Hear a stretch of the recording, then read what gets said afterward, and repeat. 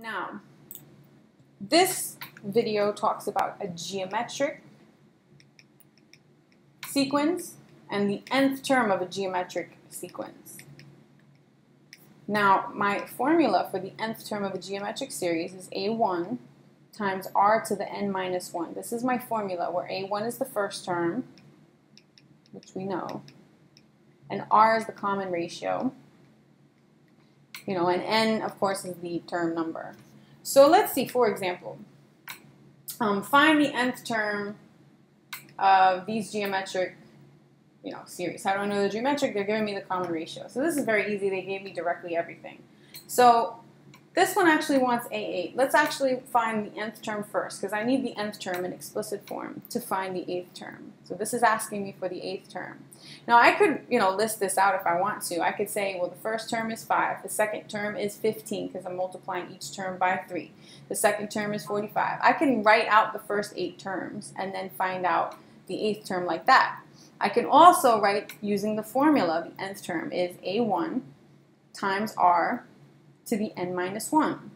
So if I want to find the eighth term, I'm going to replace n with 8 and then simplify. Now the thing about geometric is that they get very large or very small very fast. So the eighth term is 10,935, 10,935. Now be careful with this because it's only the ratio, the common ratio that's being raised to the n minus 1. This happens before I multiply by a1. So just be careful with your order of operations. So here, um, in this case, I want the nth term of this geometric series. So the first term is 24, the second term would be 8, the third term would be 8 thirds. I mean, notice that the common ratio is one third, so I'm multiplying each term by one third to get to the next one. Let's find the nth term of this geometric sequence because it has a common ratio. So it's the first term times the common ratio raised to the n minus 1. This is the nth term of this geometric series, uh, sequence.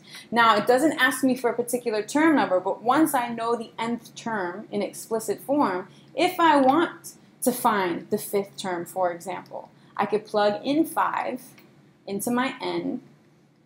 I would use my calculator for this. So 1 third um, raised to the fourth power and then times 24 in fraction form is equal to 8 over 27. Now I could find the hundredth term if I want. Just be careful because they do, like I said, get very big or very small very fast because you know you're dealing with a common ratio. Now, there's one here that I wanted to do, like this one.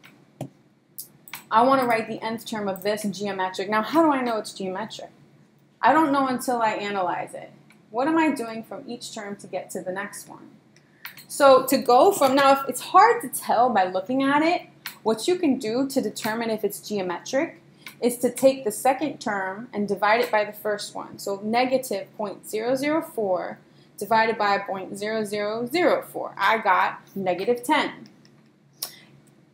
So I'm multiplying this by negative 10 to get to this. Am I doing the same thing to get to the next one? If I want to, I can go A3 divided by A2, 0.04 divided by um, point, a negative 0.004. I got negative 10 again. I'm multiplying by negative 10. This looks like sum. This is multiplication, okay?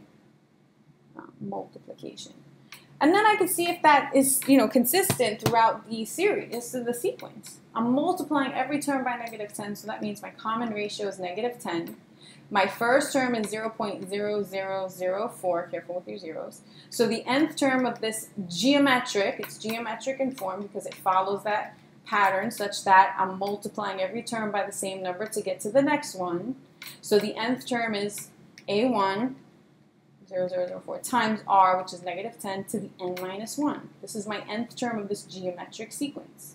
If I want to find the 10th term, again, this is an example of, you know, be careful with your uh, order of operations. This is 10 minus 1. This exponent only applies to the negative 10. Whatever this is, then you multiply by the 0.0004. So be careful with that. So negative 10 uh, in parentheses, raised to the ninth, then times 0.0004, you're going to see I get negative Uh, 1, 2, 3, 4, 5. 1, 2, 3, 4, 5. Yeah. Negative 400,000. So like I said, they grow or they decrease very quickly.